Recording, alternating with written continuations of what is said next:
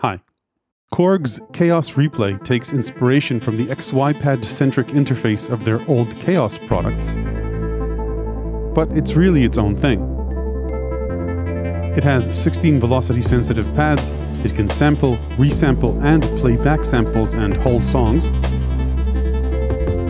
The Kaoss Effects Control touchpad has a high res touchscreen, which you can also use to edit samples and use as a live processing machine for 128 built-in effects. It's got DJ style mix, cue, and group controls with two faders.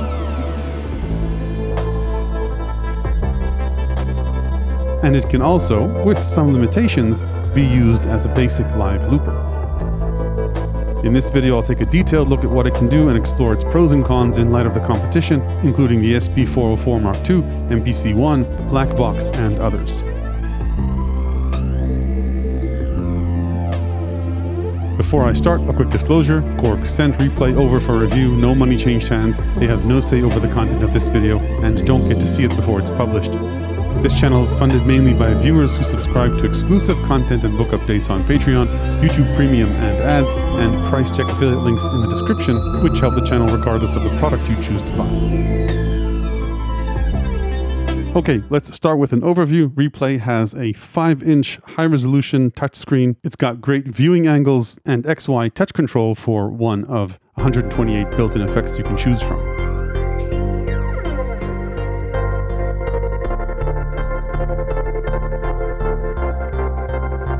You can use the effect's depth knob to control the depth of the effect, and of course the X and Y axes choose different parameters, which unfortunately aren't shown on screen. They probably could add that uh, pretty easily because it's a high-res screen. Though, of course, I don't know if they plan to do that.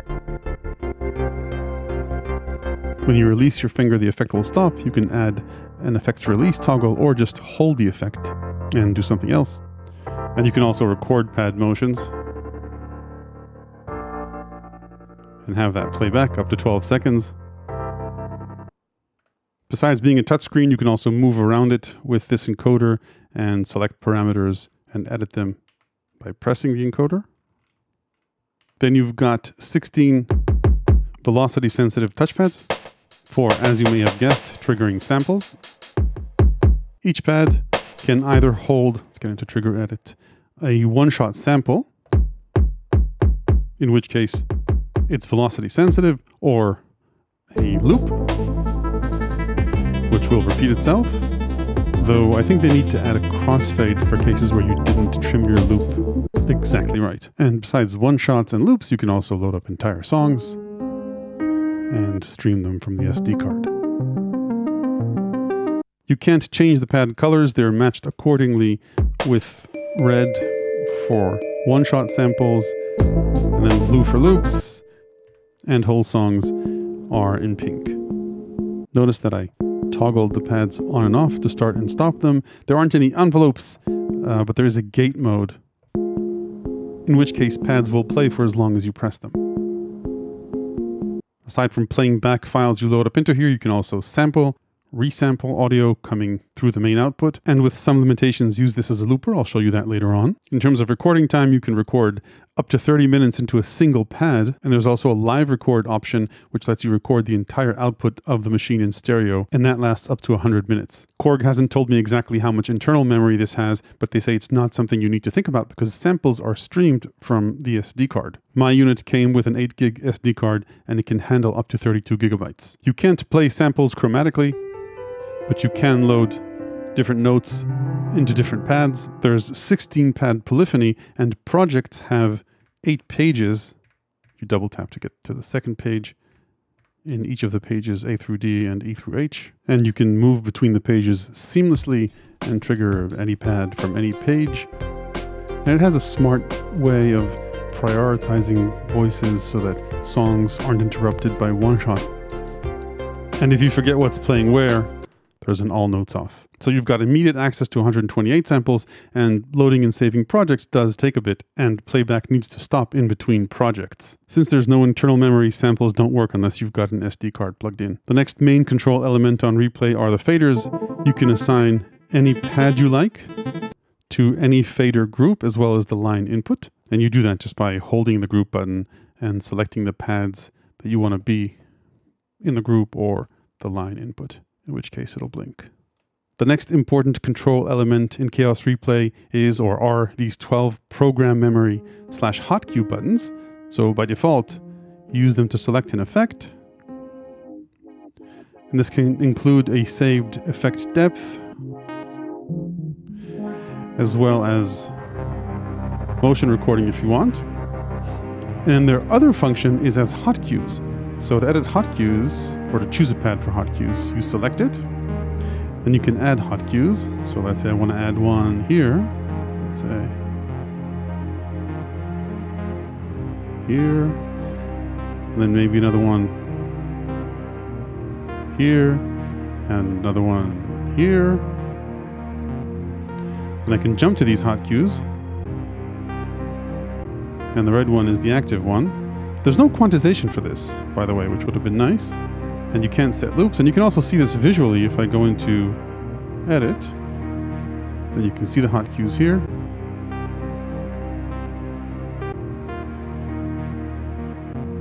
You can also edit these manually and delete hot cues if you want.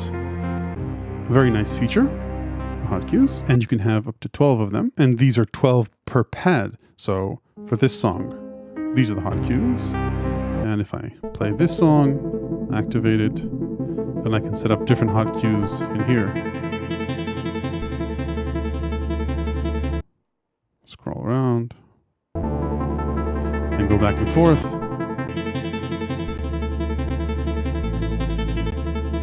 So hot cues are per pad. Then tempo is a pretty big deal here because you can align playback of loops and songs to the internal tempo with time stretch. There's a tap tempo. You can set the BPM using the encoder or use auto BPM that aligns the internal tempo to the audio coming in through the line input. Then beside that, there are a few other buttons to control various other functions. For example, mutes. So you choose pads you want to mute by holding mute.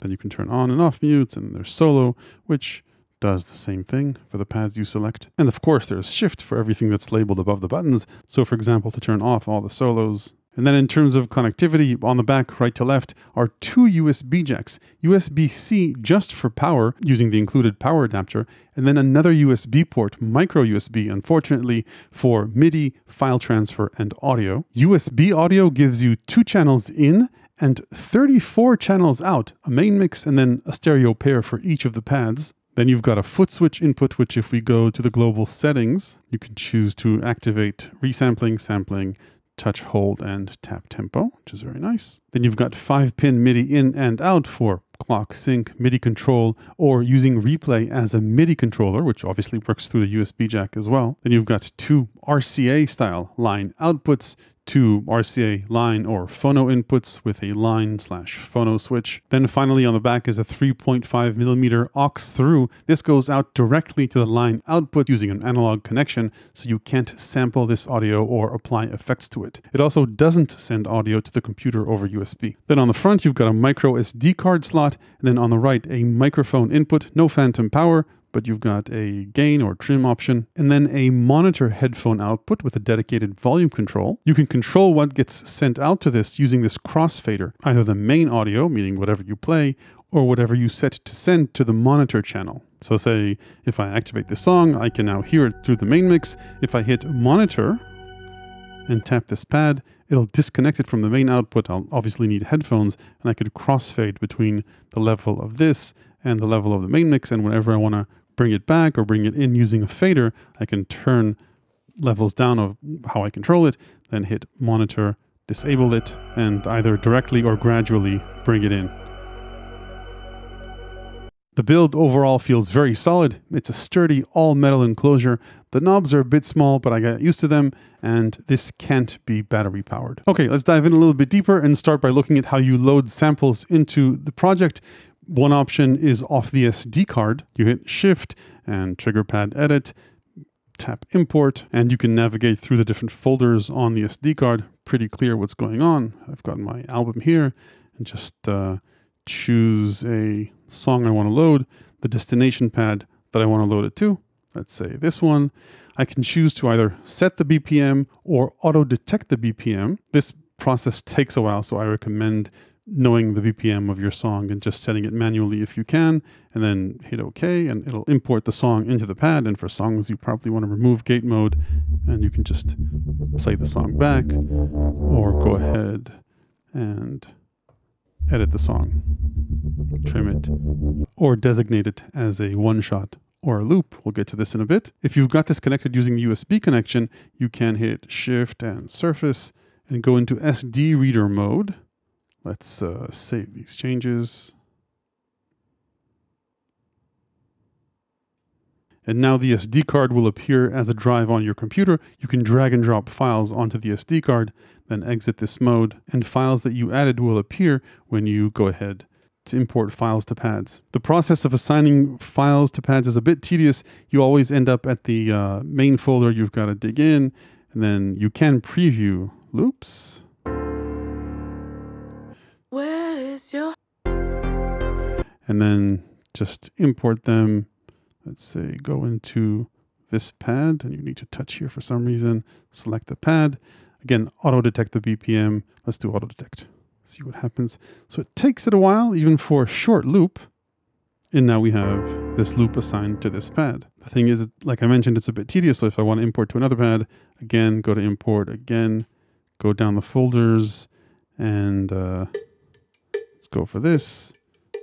Import, and again, touch here. So I think they could do a bit better in speeding this up. And one more thing I think that can be done better, notice there's a file name here. Once I press OK, the file name will be gone. All I'll get is just the pad that I have here. Since there's such a nice high-res screen, it would be nice if they kept the file name uh, maybe you'd see it when you edit pads or something, so that if you come back to a project after a while, you'll have something other than the pad bank and number. So that's how you get audio into here, except of course sampling. Once you've got audio in the trigger pad edit screen, you can choose to designate it as a loop, one shot, or song. You can see the parameters change a bit between these three options. Let's maybe choose a song. You've got an overview of the entire sample up here and you can see 8 seconds here in the middle. You can't zoom in further though. You can edit the start and end points either by using the encoder, which is a bit tedious, but also just by moving the start or end point to the middle line and then pressing S and say E. You'll want to make sure it got the BPM right, so you can edit that. And Shift will give you a different resolution for the data entry encoder. Exclusive assign lets you set choke groups. So say, for example, for drums, snare, or hi-hats, I could set choke groups if I wanted. Here, by the way, I did set choke groups for loops because I only wanted to be able to play one of these loops at a time. Now this is pad edit mode, so I can't perform with this, but you saw me perform with this in the intro and I'll talk about sync and quantize in a bit. Then level lets you set the relative level of uh, pad. And loop length lets you set the length of loops. I kind of cheated here, by the way. Kaoss Replay only supports 4-4 rhythms, so 4 beats in a bar. This song is in 6-8s actually, so it evens out after 12 beats. It would be nice, of course, if they supported other time signatures, but right now that's what you got. This little graphics will show you how many beats you've got in your loop, and you can use this link button to link the start and end points. So when they're linked, the end point will drag the start point along and when they're not, here we go, then it won't. You can also set a start offset if you want, and that's pretty much it for loops.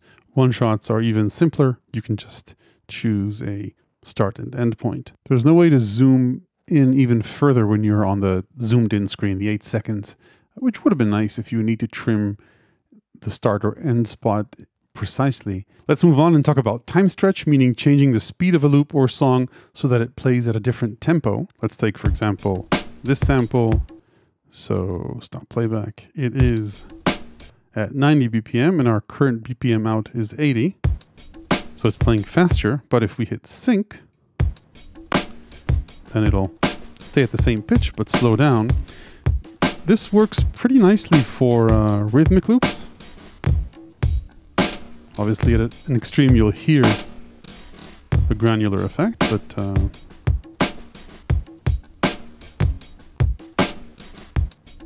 it's decent I think for uh, rhythmic loops.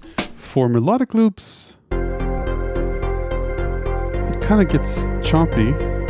Very close to the original BPM, by the way. So this is the original native tempo of the clip. Sounds good, but the minute we veer off a little bit,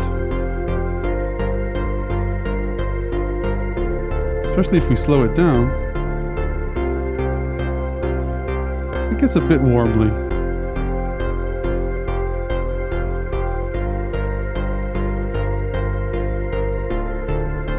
That's the native BPM. So we try this. Yeah, here the native BPM is 126. Oops.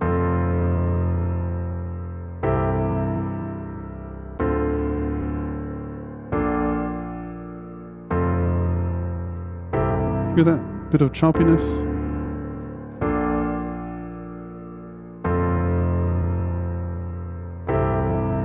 So that's the time stretch algorithm. Both songs and loops can be synced from the native BPM to the BPM out, to the reference BPM. And you can also launch them without uh, sync if you like. But if you do, and let's get out of trigger edit mode, then everything's in sync, which is why we want to use time stretch. Now, you'll notice that they're in sync with the tempo, but not in sync with each other. That's what the quantize function is for, and it will make sure that regardless of when I press any one of the pads, any one of the loops, they'll be in sync, both with each other and with the main reference tempo of the machine, which I can change and time stretch both loops together. You change the degree of quantization in the global settings, and there are options all the way from an eighth of a beat to a beat to every two beats. There's no four beat option, so a measure option, I think they should add that, and hopefully that's pretty easy. Now, beside time stretch, we've also got a variable pitch option. So let's take, for example, this loop. For this, you need to first add the pad to the pads that will be affected by variable pitch, then activate variable pitch and play the loop. And then you need to change the tempo after you have pressed play. And then you can uh, slow down the loop with pitch. If this works very nicely, by the way, with a tape or record-like effect, even at extreme levels. So very cool, I think. The only thing that's a bit odd about how this feature works is that the variable pitch is relative. So it's not absolute setting tempo doesn't set the absolute tempo of the clip, but rather the pitch and time shift are relative to the tempo of whatever the tempo was when you pressed the pad. So the numbers you're seeing here aren't absolute, but rather relative. I think it would also be nice if they let you set the relative pitch as opposed to the relative tempo. So now that we know how to get samples in here, let's take a look at the Kaoss effects and let's just go through all of them very quickly. I think what I'll do is just record a motion and uh, yeah, replay that, and then just go through the effects quickly, give you a taste of them. The effects are arranged in groups. The first group is filters.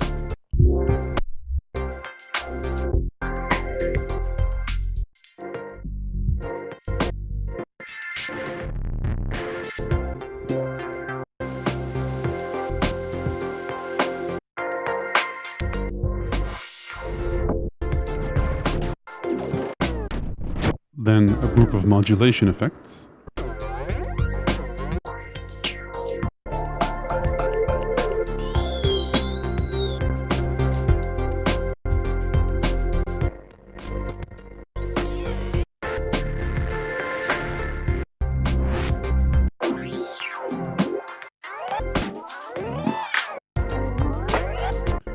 And then what are called LFO effects, meaning effects that are tempo synced.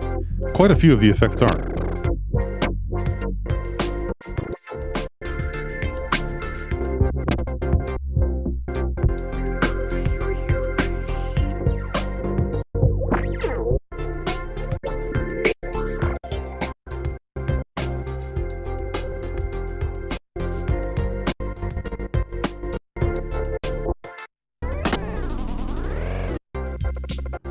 and then a bunch of delay effects.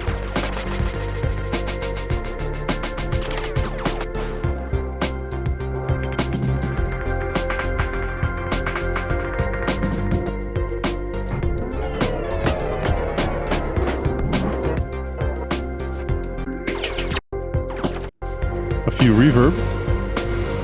Nice ones, I think.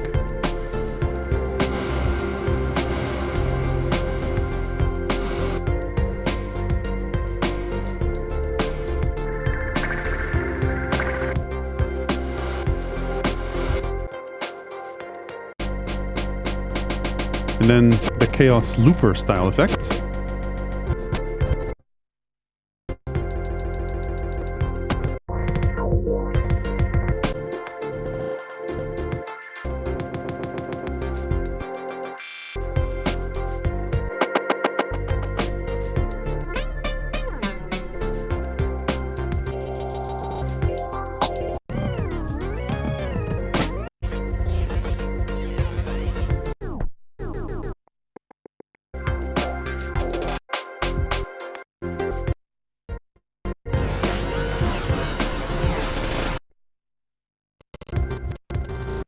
And then there are a few vocoder effects.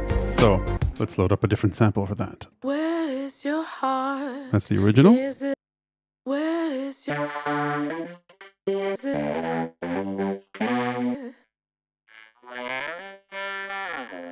Is it?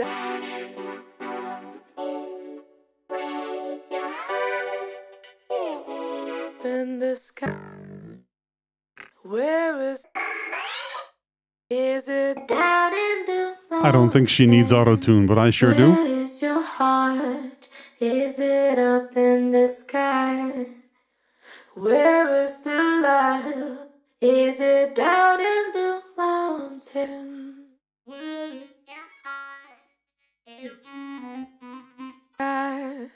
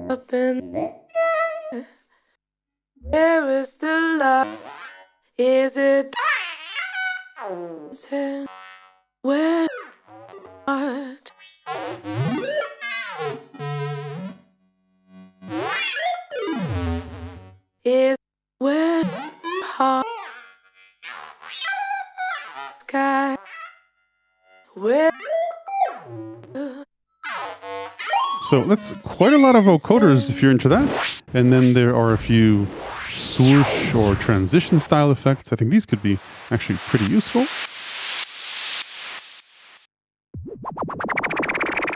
And a few synths.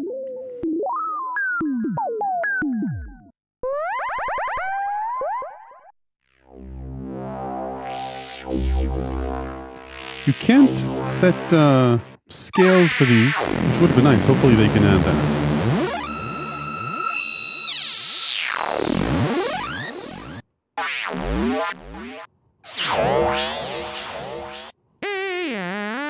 So yes, yay!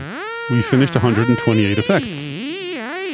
And if you like what you found, and you like a motion you've recorded, and then effect depth, then you can write it into any one of the program memory buttons and recall it. Let's move on and talk about sampling. You can sample either the line input, the mic input, or USB audio, as well as resample the internal audio. Sampling is easy. You need to set up whether you want to record a loop and how long you want it to be, or if you just want to record a one shot, then you can choose whether you want to trigger recording with a pad or trigger based on levels coming in through the input that you're recording. And I'm going to try and sample an SM7B, which is a notoriously low level microphone. But let's do it anyway. I'll crank the trim all the way up and I need to activate the mic input. So now this is just the SM7B and while we're here, shift and setup can go into the mic settings. I can add reverb, light, hey, hey, and delay, delay, delay, as well as apply EQ. Anyway, go back into sampling. You can see I'm triggering threshold. Choose the pad that I want to cue up for this. With trigger, I need to arm it, arm, arm, hey. Arm it, arm, arm, hey. And we now have arm it, arm, arm, hey. Our sample, and of course I can go ahead and edit it. And what would have certainly been nice here is a normalization option. Now you can also use this as a looper. Let's take a look at that. Since you can record loops in here, the question you might ask is, can this be used as a looper? And the answer is yes, but without a few features you might expect in a looper, which hopefully they'll add in the future, and with a few caveats. So first thing, there's no metronome, so you'll need to record a metronome loop on your own, or just play to a beat. And replay doesn't adjust the tempo to whatever length of loop you record, so it's better to have a tempo loop ready and prepared. So I'll go into sampling, choose the loop length to whatever you want to record, and then you can choose to either auto trigger or press the pad to start recording. I set the trigger as low as possible so that the start point doesn't overshoot the actual loop. Let's sample into this pad. And then the reference BPM really matters, so you want to make sure that your loop is quantized to it. So let's get our metronome going and play loop.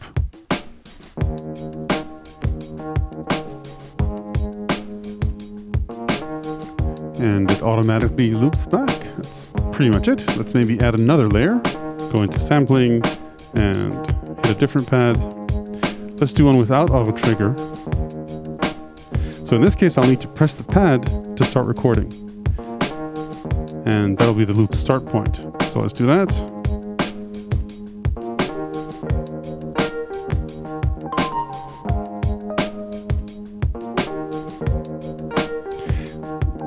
With this. Now, okay, so sounds great. We have a looper, there's no overdubbing, but uh, everything's working nicely. So first, there's no overdubs. So if a loop had a tail, that tail would be chopped off as it loops back, which isn't too bad here. And then the second and more important point, I think, is that the start point of these loops isn't quantized to the start point of the reference BPM. Now, if I hit it just right, you might not notice a little offset between the piano and the drums. But if I bring in the second loop, it'll start on the first beat when things are quantized. So it'll be completely off compared to how I played it initially. And that's what I think they should fix here. And that's because recording started when I hit this pad, which isn't necessarily the start of the loop.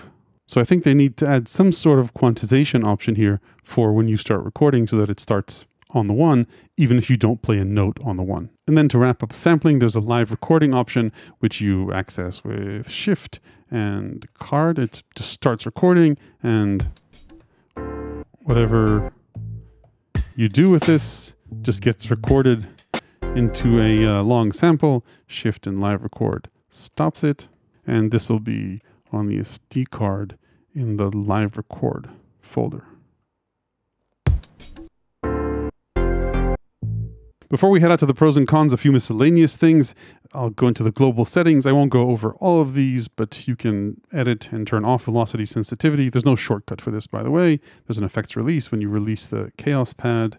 And we already talked about the foot switch. You can also choose to use this as an effect only as opposed to the combination of the dry and wet signal. And there are a whole bunch of MIDI settings we won't go over, but this can be used as a MIDI controller. And if you go into surface mode, you can also use the screen as 10 MIDI CC faders. Okay, let's talk about pros and cons for Kaoss Replay, and I think the three relevant competitors to have in mind are the similar in form factor SP404 Mark II from Roland, the Akai MPC-1, and the 1010 Music Blackbox. They're all different in their own way, and a video comparing all three to replay would take hours, but in a very broad and imprecise generalization, I'd say that the main difference between replay compared to all of them on the hardware side is that replay isn't intended to be a detailed music production system system, it's more of a performance box. So it doesn't have a sequencer, it doesn't have a built in synth unless they improve the Kaoss synths and add scales to them, and it doesn't have the ability to play samples chromatically. I kind of cheated here by adding different notes into different pads. And then even though it doesn't have a sequencer, you can always resample yourself playing and use that as a loop. So there are ways around that, but it's not a production box, it's a performance box. It's designed mainly for you to bring content you already created and then perform with it and play it back. Another limitation of replay is that other than the mic effects, which we talked about earlier, you only get one effect one global master effect at a time. Now you can apply that effect to different targets within the system. So, say only to the pads that are assigned to group B, only to the pads that are assigned to group A, but you can't create a chain of effects and you can't assign one effect to one set of pads and another effect to another set of pads. So that's another limitation that you don't have on the other machines. The effects you do have here, though, of course, are pretty unique and characteristic of the Kaoss line. I played through all of them earlier, so you can rewind to that section if you like. And Korg hinted that they might add more effects to this, but even as it is now, the 128 effects that are in here are fairly unique and let you get quite creative, even though only one at a time. Another important feature here is the up to 30 minute song length, all streaming for the SD card, which some but not all the others have. This is also very DJ friendly with groups, two faders, and a monitor mix option. The only thing that comes close to this is the DJ mode in the SP404. I think pros on the hardware side for Kaoss Replay are the simplicity and immediacy of the hardware controls, including the dual faders, the pads, and the 12 cue controls per sample, along with the XY pad and the motion recording. I think the amplified Microphone input, though no phantom power, is also fairly unique. The way you can live loop here also is pretty interesting with the limitations that I mentioned earlier. Quantization for launching loops is very useful, though time stretch for melodic samples I think needs improvement. And then the 100 minute live recording buffer I think is a very nice cherry on top that's unique to this. Then cons on the firmware side, meaning things I hope we can get firmware updates for, but there's absolutely no promise that we will. Probably the biggest thing I think they could do better is that the high res screen is very underutilized. At the very least, I would expect to see what the X and Y parameters control when you're using the Kaoss pad as an effect. It would also be great to see the waveforms as you press the pads. You can do that today when you go into the trigger edit screen, but that's just a way to view and edit one pad at a time, and you need to press it twice before it plays back. And speaking of DJ features, I think quantization of cue points would be useful as well, as well as the option to create loops within a sample. So for example, if I said Q.1 and Q.2, I'd want an option to loop this point. Again, you can work around this with a resampling and create a new loop if you want and then trim it, but I think quantized looping with cue points would be ideal. I think they should also add simple envelopes when you're in gate mode.